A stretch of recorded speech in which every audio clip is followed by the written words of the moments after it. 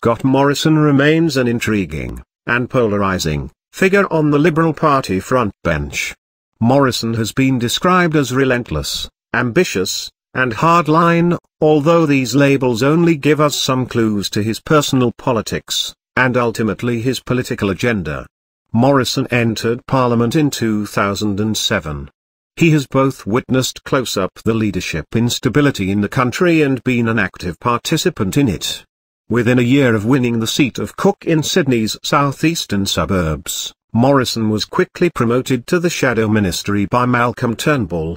In 2013, this time under Tony Abbott's leadership, Morrison became Immigration Minister before being handed the Social Services portfolio in 2014. Since then, under Turnbull, Morrison has handed down three federal budgets. In part, Morrison's conservative politics are informed by his faith. He has been a long-standing member of the Pentecostal Church. Generally speaking, Morrison is economically liberal and socially conservative. He was just one of ten Liberal MPs, alongside Abbott and Barnaby Joyce, to abstain from the same-sex marriage vote. Moreover, he signaled a clear willingness to ensure greater religious freedoms during this debate.